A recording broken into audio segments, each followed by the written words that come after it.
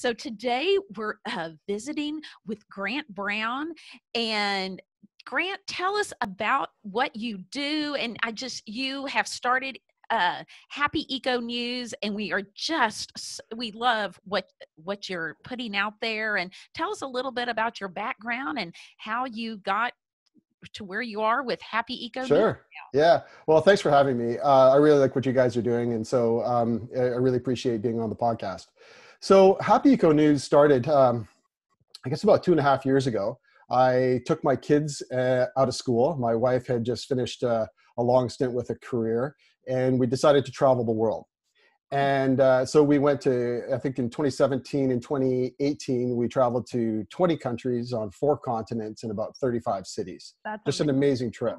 Wow. Um, but what we found was that there was a, um, everywhere you looked in a lot of these developing nations where we were visiting, even even in some of the bigger cities that are you know Western European type countries, um, we would find that there there were uh, constantly an affront to our senses in terms of pollution. And uh, it just kind of got to me. You know, I, I, have a photo of my son. He hopped up on a surfboard for the first time in Bali, and uh, there's a big piece of plastic film on his leg, mm. um, you know, stuck to him. Uh, in fact, on the beaches in Bali, it's one of the most beautiful beaches in the world. There were, uh, I, I, would say, that not literally not a square foot of beach that didn't have a piece of plastic on it in some way. Oh. So you know, it became kind of disheartening, and um, kind of got beaten down by that. And everywhere you look, right uh, in Cambodia, a, a river uh, that I thought was a garbage dump until the rains came. The rains came, washed it all away. Oh, there's a river there. Oh, uh, wow. uh, all of that got flushed out to the Mekong River, which then got flushed out to the South China Sea and is washing up on a beach somewhere near you. So, um, you know, it was a bit disheartening. Uh, all these beautiful, beautiful places with these wonderful people that were super generous and kind. Uh, and everywhere we went, we we met wonderful people. Um, and you know, I just thought there's got to be something better. Now, I work in my day job is in clean technology, and I have traveled extensively for work. I've done some pretty incredible things. I spoke at the uh, the UN climate conference at COP21. I've met world leaders. Uh, I, you know, I've had a, a, very privileged, amazing career. And what I found was that um, there are what I know eh, from my heart and from my experience is that there's a lot of really good people doing really good things, and it's just not being represented in the media. Mm-hmm. It is if you look, but unfortunately, really dig. you have to dig, and so I started looking for these things only to you know sort of uh, make myself feel better about what was going on in the world. I thought gosh there's got to be something there that is good for everybody. So i started collecting these stories and i started sharing them on my social media feeds. And then i thought well you know i need to have one central location to let i can do this. And so i started uh, I, I started a little website you know in its early days it looked terrible. Um, i got a domain name and i, I eventually dropped that and i used something else and now it's called thehappyeconews.com and you know the logo is a, a smiling happy face over superimposed on on the globe. Oh. um, and i think that people need that message. They need to know that there is something positive in the world happening right now. Everywhere you look there's uh, I mean, just socially, there's horrible things happening, uh, huge inequities in in in um, in wealth. Um, the people that are sort of the most vulnerable are are being hurt the most by um, the actions of some of the most wealthy people. And what I've decided, what I decided at the time was that I was going to use this as a platform to help people overcome eco anxiety first and secondly, to hopefully inspire them to make positive change. I am a firm believer that small incremental change can add up to really, really big effects globally. Mm-hmm. We have, I think, what, 8 billion people on the planet. If everybody did their part, we wouldn't really have a problem. Um, there's a certain impact just from having that many people on the planet. We are, you know, we we we consume, um, but we don't have to. We don't have to waste. Uh, we don't have to, you know, we don't have to um, throw that garbage in the river so that it washes out to the sea. We, we there's a lot of things we can do. So you know, uh, that's kind of a long way of of saying that I just wanted to make people feel better. Uh, you know, and and my payback on this, like I, I'm not making any money from it right now. Um, but my payback on this is simply getting these amazing emails from people who are saying things to me like, you know, I stopped watching regular news media. I stopped reading Reuters news. I stopped reading, you know, whatever because it was just too depressing. And now I get all of my news from Happy Eco News. Now, Wonderful. that that's that's a huge, huge responsibility. Um, yes. and you know, and I didn't ask for that, but maybe I did. I don't know.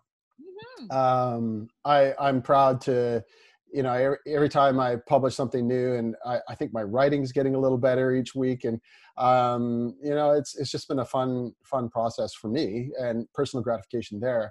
Um, but it's just amazing to know that so many people uh, from all corners of the world are are being influenced by it and and finding something from it. Congratulations. I'm such a you. fan of how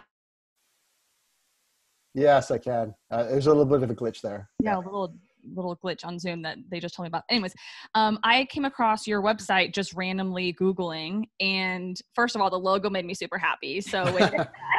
Oh, Second all, to validate just something that you said really quickly about how you feel like that first version was terrible. yeah. And I can tell you that that means you were doing your job and just getting it out there because we were working with someone. We're um, we're not going to give anything away, but we're working on a fun project. And he said, uh, developing it, and the developer was saying, if you're not slightly embarrassed of your first Yeah. version, you waited too long. And I remember Yeah.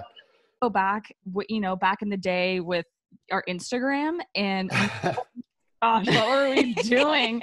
but that's the point. Like, you just doesn't matter. Like, just get it out there and start sharing. And I think that first of all is one of the most important things that you can do. it's just yeah. Well, you got to get it out there, and you know, I, I I've um, I've always been a fan. I'm an entrepreneur. Um, you know, I'm a part owner of the company that I work for, um, and I've I've uh, learned a lot, and that is, you know, that the version one is never the final version. Mhm. And uh, there's a, an old adage, and I, and I don't know, I think it was a military uh, reference, but basically, no, no plan survives first contact with the enemy. Um, and I think that can be adapted to no plan survives first contact with the customer or the audience.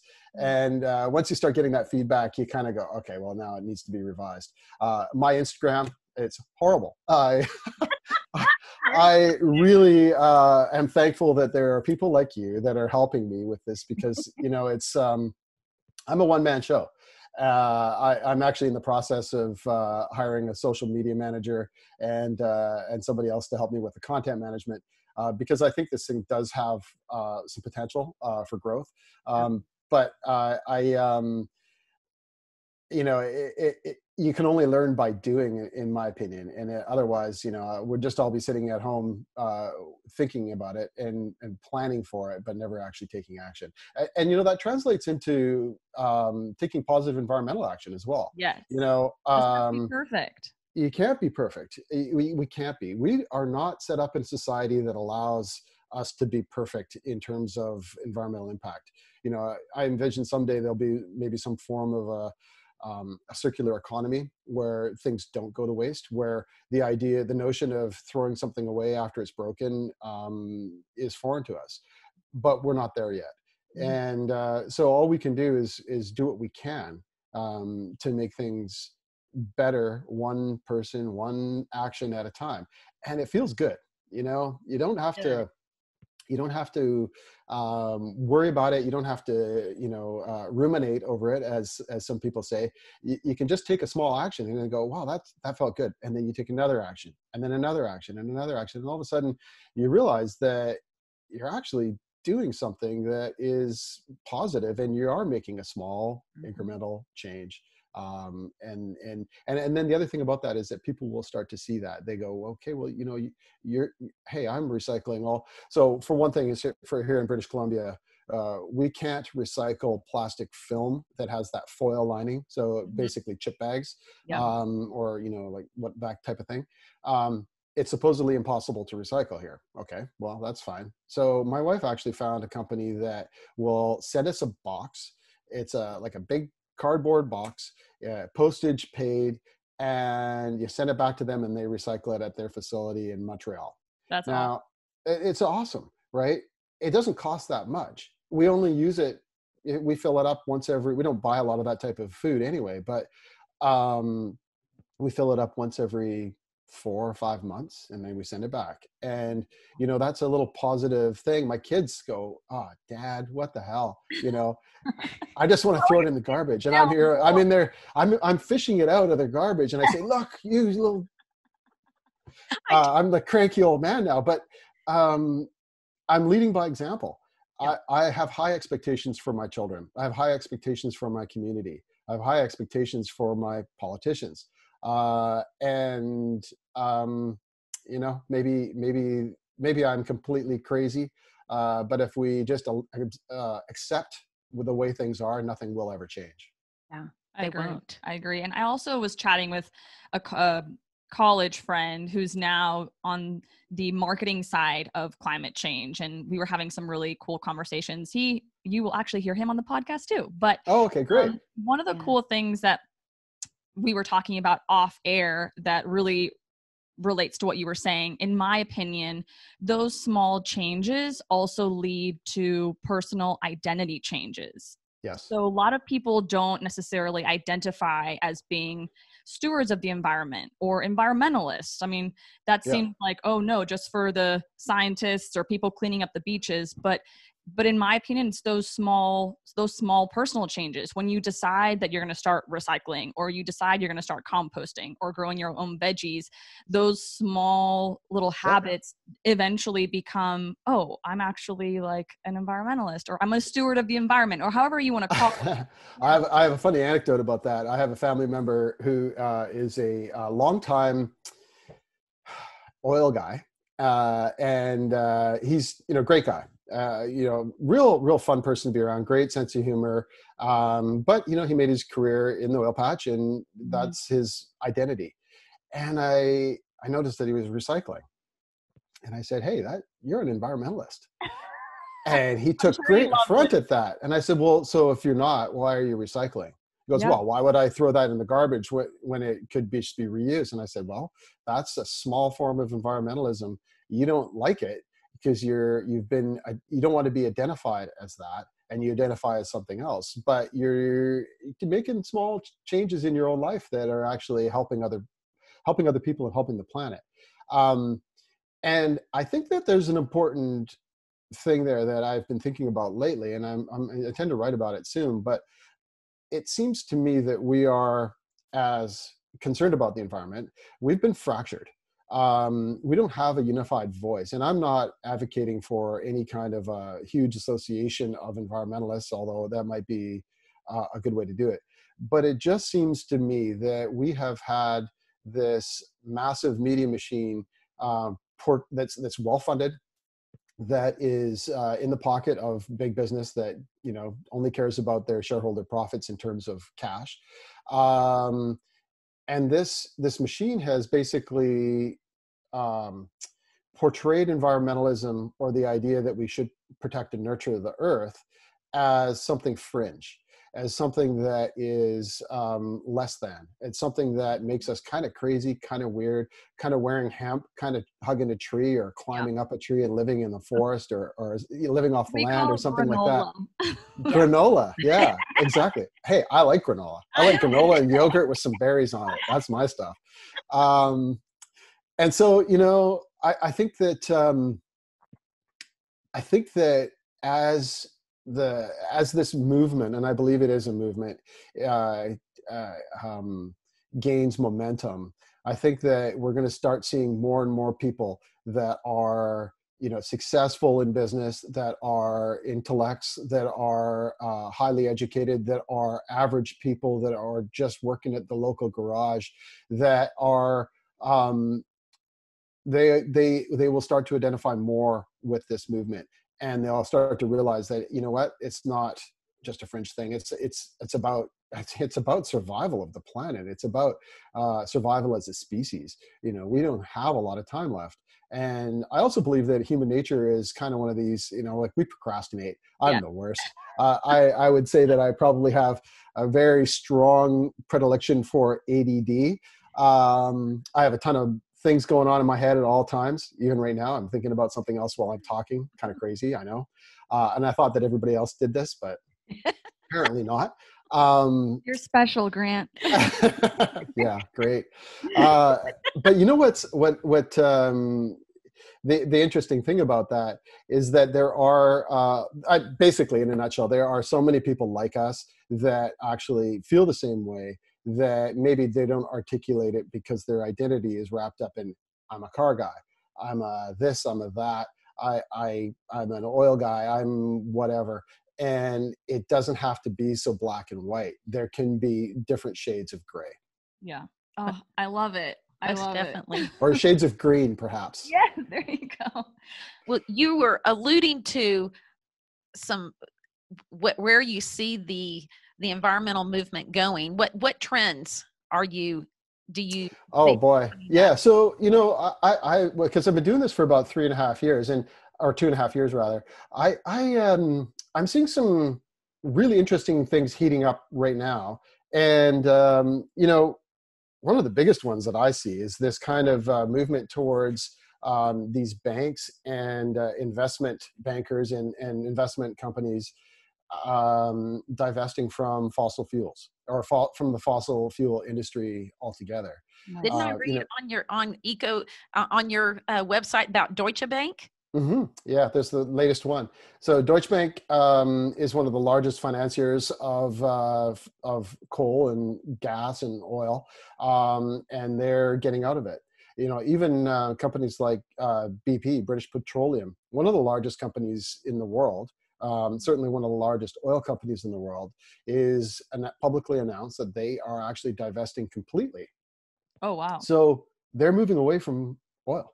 Wow. So you know, well, let like- me recap. British Petroleum is moving away from oil. Yeah, they're they're, inve- they're it's a it's going to be a process. Yeah, yeah. Um, awesome. they've just I think they just recently uh, wrote down something like like I think it's something like twenty two billion dollars in in assets that have devalued over the last couple of years. You know that entire industry has been devaluing over lots of time. And and you know don't get me wrong, I I totally I have a lot of family and a lot of friends that uh, work in that sector, and I do not wish them ill at all um, uh, but I think that the writing is on the wall, and uh, you know, if you're listening, get out now.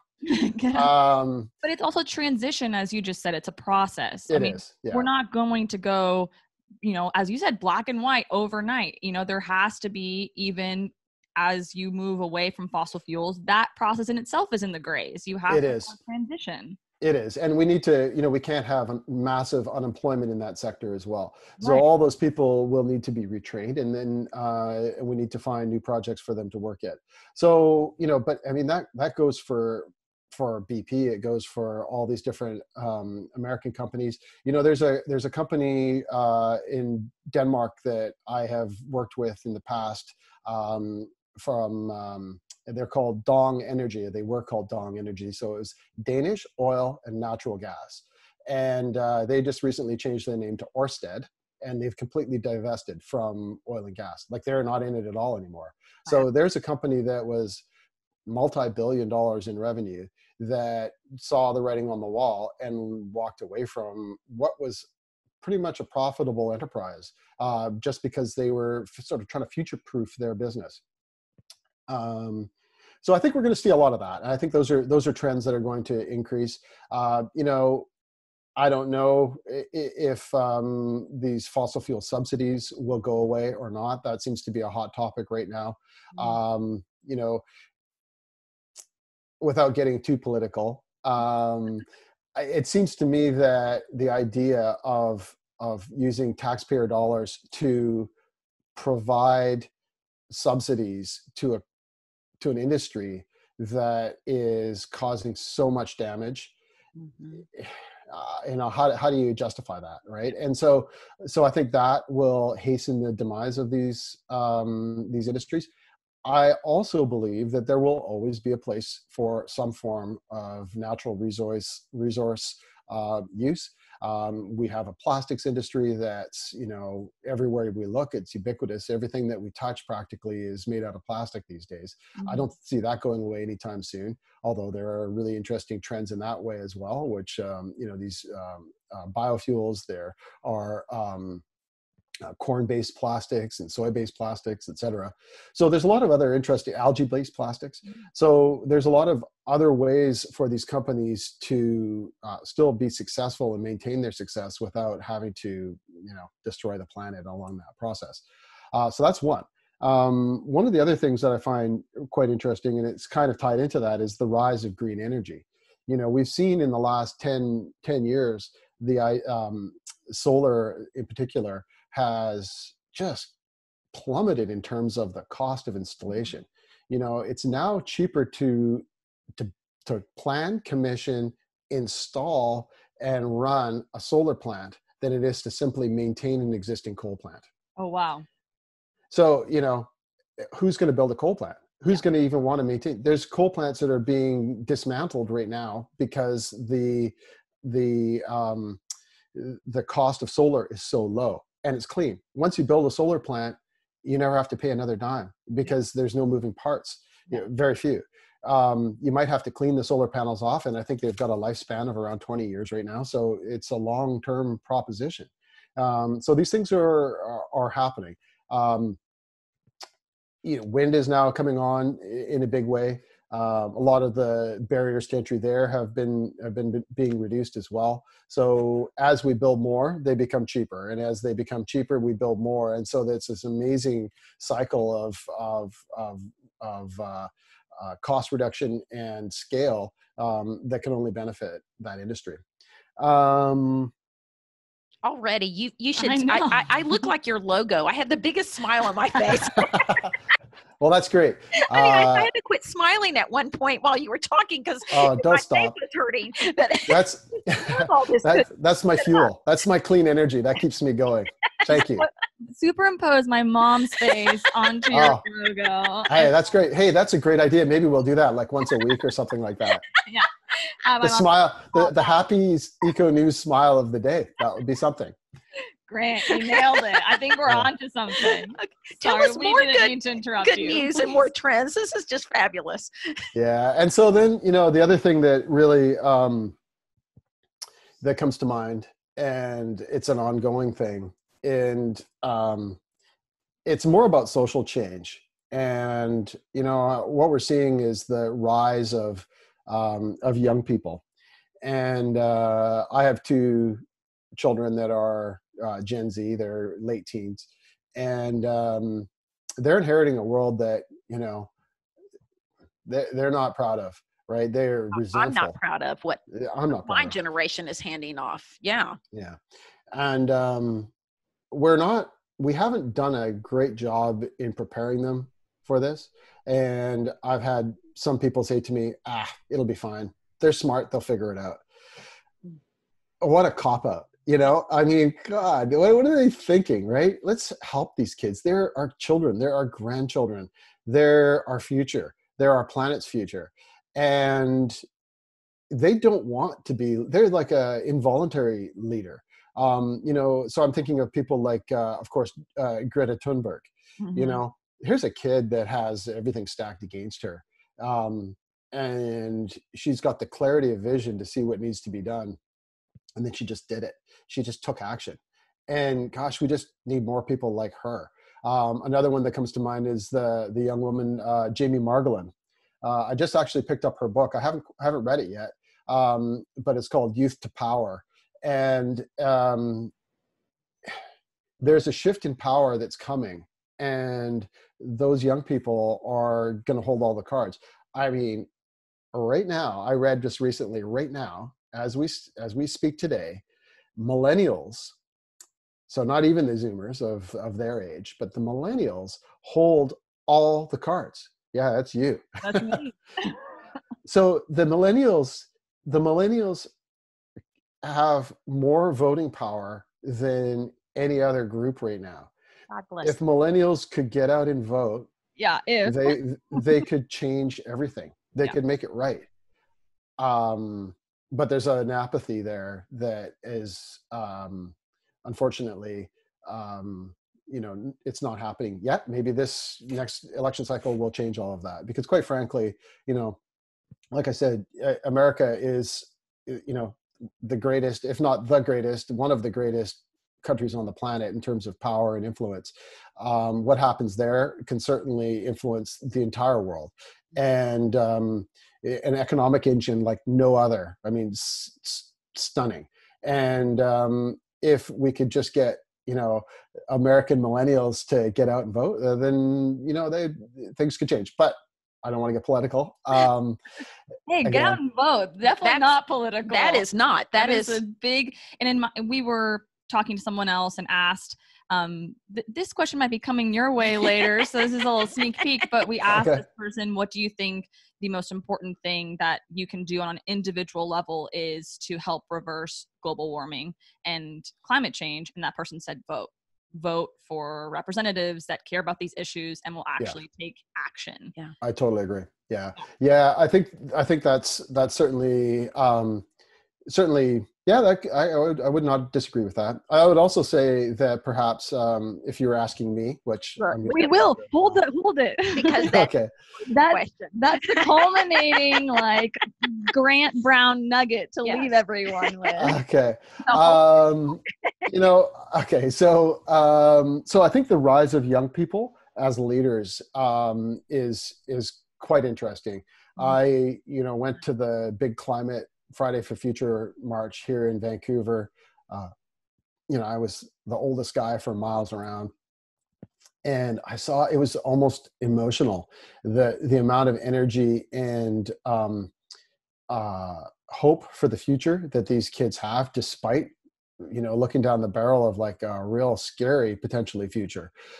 I also, as I was saying, I, I think that um, you know humans are um, we're procrastinators.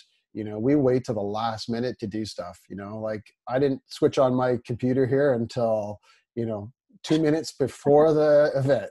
Um, and, and and you know, I also believe in humanity, and I believe in the power of our society, and I believe in the power of people that you know. One thing that traveling a lot has taught me is that everybody wants the same thing, right? They they just want a better future for their children. They want clean food. They want clean water. They want clean air to breathe. Um, they want you know things to be better for their children than they were for them. And you know we've we've had that. I, I'm the beneficiary of years, decades, thousands of years of human growth that has led to uh, an amazing world that we live in with technology that my grandparents couldn't even dream of Yeah. you know when I, my, I remember talking to my grandma and she said yeah you know we didn't have indoor plumbing. Uh, uh, my kids can't even imagine a life without a ipod. Um, and so you know we will fix it. I, I truly believe we will fix it. We're not the type we're not going to go quietly into the dark night.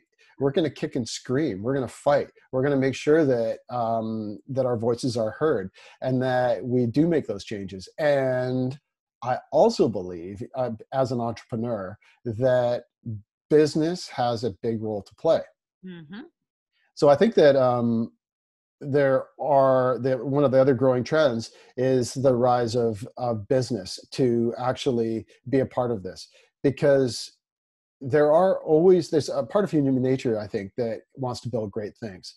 You know, we need people that want to build the big bridge or or the the the, the big skyscraper or whatever. Those are the types of people that I, I'm not necessarily one of them. I have had some small businesses and I've done okay. But um, if you can get some of these visionary type thinkers behind this idea, and then you can give them the incentives that they can make a pile of money uh, doing the right thing as Mhm. opposed to the wrong thing, um, they'll take that action and they will make, do the right thing and they will make a, something great and the whole planet will benefit. Maybe it's carbon capture. Maybe it's uh, incentivizing uh, tree planting in some way. I, you know, I, I don't know what that looks like, but there will certainly be um, a lot of that in the very near term. I would say And we can help by voting with our, our wallets. this is absolutely true. Yeah.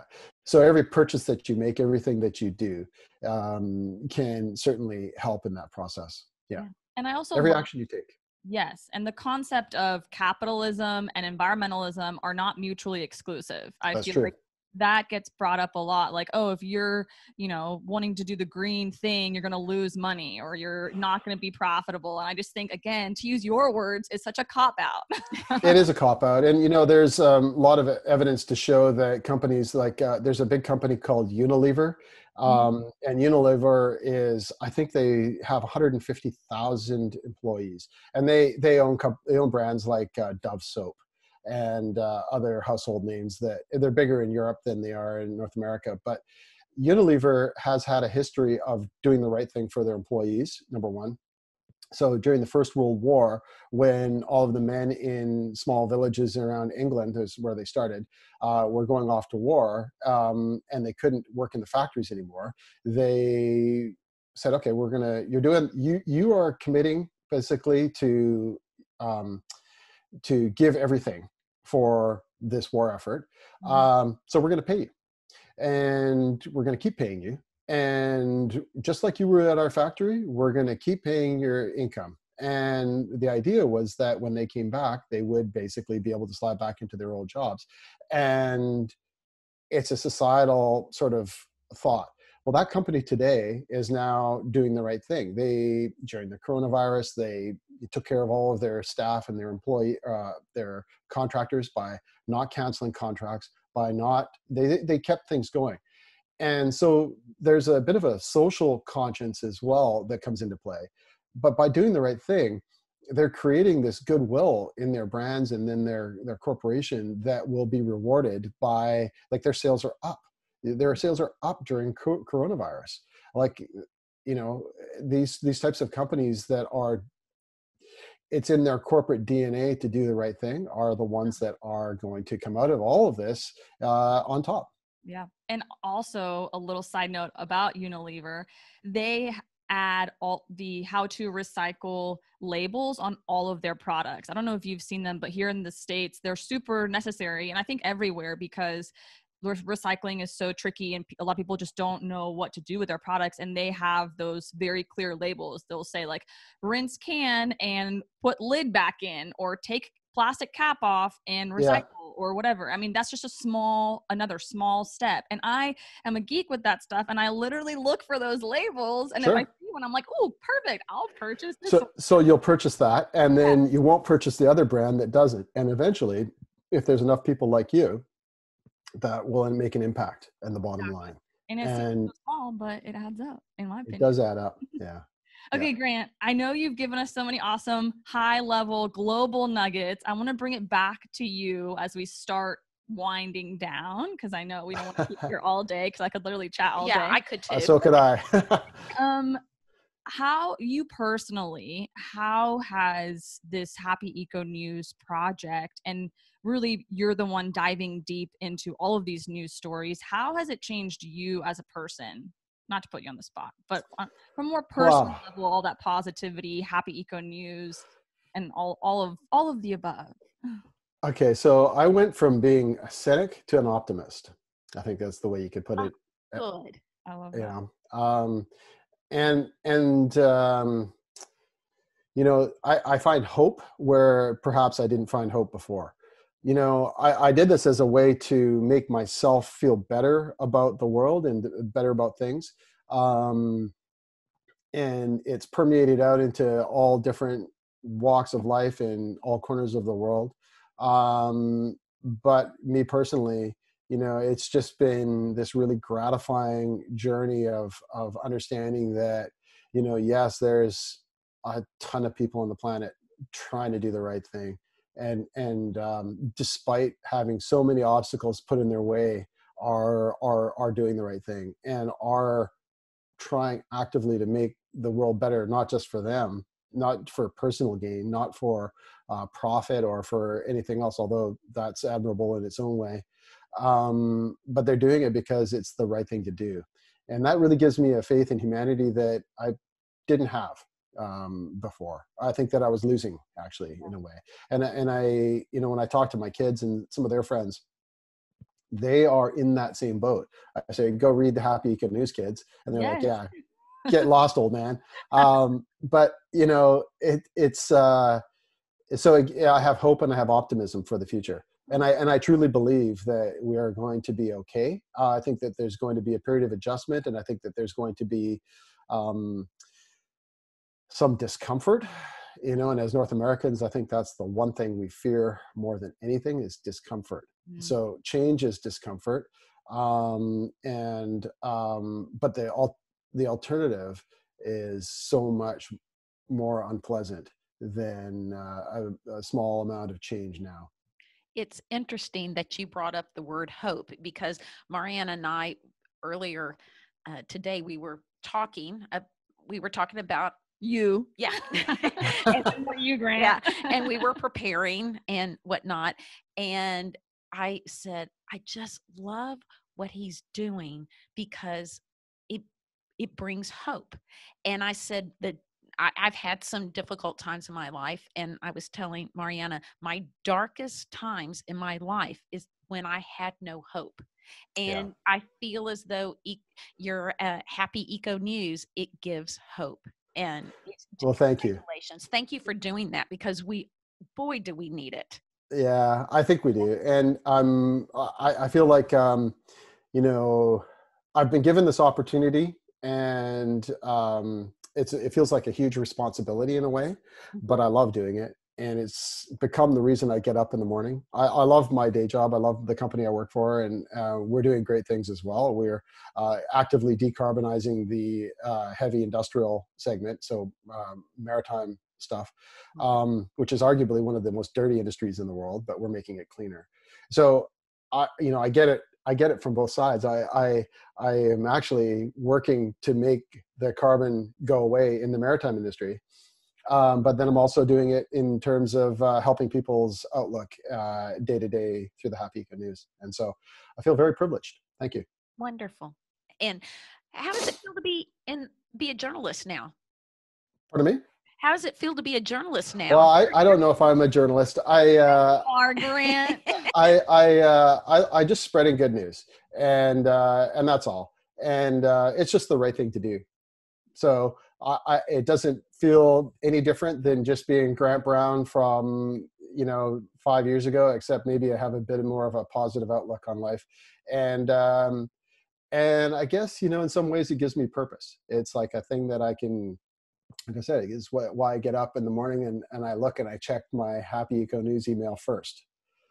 I love that. And the, I, the, there you have a recent photo on your website of the eagle that's gliding over the water. Yeah. Oh my gosh, boy, does th- that photo put a big smile on my face. So, yeah. I mean, just and your stories do. Yeah, that you're, you're doing such an amazing job. Thank you. Okay, mom, you want to hit them with your big question yes. before we ra- wrap it up? well, you already know Uh-oh. it. I already know it. So, what do you think is the most important thing that each person can do to help reverse global warming and help climate change? Well, uh, as you alluded to before, certainly voting. Um, but I think that in terms of individual action, I I would have to say because I keep coming back to the you know the traditional oil industry as being um, it's pretty bad for the planet, you know, and um, drive less, you know, um, consume less plastic, um, take action, right? Just take action. Take some form of action each day that you can be proud of and that you can point to if somebody asks and say, you know, I, I, I it's do so, do what's right for you. You know, do, do what, what, um, if it's planting a garden and it's eating less meat, if it's, you know, any one of these things, right? If it's you not using, uh, chemical herbicides or um, pesticides in your garden. If it's um, switching to an electric lawnmower, which I saw on your site, uh, on your Instagram feed, I actually have one as well, and I've been using it. I've actually had an electric lawnmower for I don't know ten years, um, and uh, all of those little things add up. So just take action. Take some form of simple action that feels right with you, and then build upon that because it's it sounds hard but it's not hard. Once you start taking that first step, what do they say? A, a journey of a thousand miles begins with one step. Yeah, So that's what I would say. I love that. That just a speaks to the message that we try to portray, but also all a lot of the ma- the big conversations that we've been having with people recently. It seems like that is really resonating with everyone. You know, just do what's right for you. Do something. You're not going to be perfect, but start somewhere. Right? It's really Yeah. that easy. Yeah, it really is. And, and you know, um, recycling is not enough. Yeah. it doesn't re- reduce, reduce, reduce. Don't consume. Don't be a consumer. You know, this idea of us being referred to as consumers, we don't have to be. Yeah. Uh, a consumer, you know, that's that's a industry lexicon for somebody who buys your crop and uh, and throws it away. A consumer does not necessarily mean a human being. We're humans. We have a society. and We should be looking out for each other, and we should be looking out for the planet. You know, we're the only creatures on the planet that don't contribute, if that makes sense. You know, to its health. Everything else seems to live in um, harmony with the planet, except humans. So it's so true. It's so and we true. can. And we can. We Yeah. can. We used to live in harmony with the earth. Well, we did. Yeah, yeah. Yeah. I'm gonna get there. Grant, thank you so much. I literally have all of these questions that I've written down as we were talking. And I don't have time to get to them today, but I'm really hoping you'll be back on this podcast to share I would love to be back if you'll have Happy me. Really Eco News insights, and then I'm gonna sneakily sprinkle in those questions. okay, good. Are you going to fact check me too? no, no, no, no, no. Just awesome things that you were There are no gotcha moments on this. There's this. no gotcha. Okay. moments. No, No. no, no. There's just lots of you have amazing insights and you know, we didn't even touch on your day job, which I know you're changing the world that way too. So there's just so many things that you're doing. Thank you so much, obviously, for all your work. And tell us how people can help you, contribute, get in touch with you. What can people do? Sure. Well, share the Happy Eco News. So uh, visit my website. It's uh, happyeconews.com, just as it sounds. Um, and uh, I'm on Twitter and, um, you know, the usual places, Twitter, Facebook, uh, Instagram in some small way. Um, but uh, visit my website. There's a, a newsletter. So each week I uh, curate the top five Happy Eco News stories. Um, and that's based upon actual page views. So it's not my perception of what I think is the top five. It's actually what people have clicked on the most. So when you go and visit a page on my site, um, that will get cataloged, and uh, I will, if it's the top five, it, you'll be in the top five. Um, and then share it. You know, share it with other people because everybody needs some happy eco news in their daily routine. Um, and you know, share it, subscribe to the newsletter, uh, um, just read it and be happy, right? I'm I'm I'm super positive and hopeful for the for the coming years. And I'm a huge fan of your newsletter. I doesn't it come out Monday morning, like first Monday morning, I, I think the day. Yes, the first time I, I looked at it, I was like, I'm sure Grant was purposeful about this. But yeah, yeah, I it, makes me well, it allows me uh, the weekend, right, to to work on it, and then um, I don't know. I like to get something positive in my news or my email feed uh, first thing Monday morning. Uh, uh, certainly much better than you know a collection notice or something like that. that's it. I know. It's the first thing I read now on Mondays, and I love it. So everyone definitely sign up for their newsletter, and all of those links will be in the show notes. Um, and then we also post, you know, highlights from Happy Eco News on our Instagram, Yes. so you can go. Thank to, you. Yeah. Well, we love it. We love it, and you can go to their to the Happy Eco News Instagram page through those stories as well. So I will post it all in the show notes, though. And Thank you so much for having me. Oh, No. Grant, thank you. This is a great way to end our week, and then I'll start my next week with Happy Eco News too. So it's Perfect. Sounds awesome. Well, thanks again for having me. I, I really love what you guys are doing. Um, I, I look forward to your updates as well. So uh, let's just work together and and uh, see what we can do to help people, um, you know, make their lives better and make the planet better too. That I love it. wonderful. Thank you so much, Grant. We really appreciate your time. We do, and have a great weekend. Thank you. You too. Okay. Have a good one. Okay. Bye bye. Bye. Bye.